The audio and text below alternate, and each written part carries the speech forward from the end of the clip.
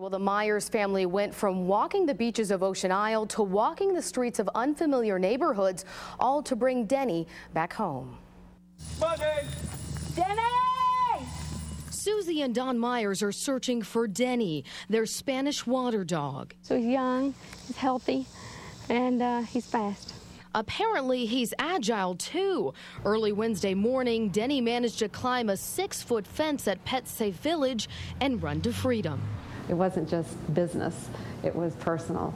And and I think that's what made it so hard. You know, they trusted us with their baby, and so we were going to do everything we could.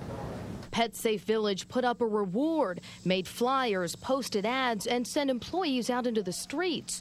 The Myers have searched day and night with an empty leash and empty collar in tow. Every time the phone rings, I hold my breath. The Myers started plotting the Denny sightings on a map, but as of Friday morning, there was still no sign of him.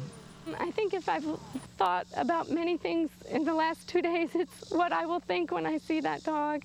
Um, we will be just ecstatic. He means the world to us. The Myers kept searching, but in the end, Denny found them.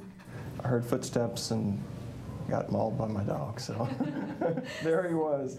Denny's journey ended miles from where it began, and after a quick stop at the vet, he was okay and ready to go home. Don't let him go. Yes. Do not. And the Myers say they are grateful to everyone's efforts to bring Denny home. Meanwhile, Pet Safe Village officials say they'll be reevaluating their policies to try to make sure that this never happens again. John.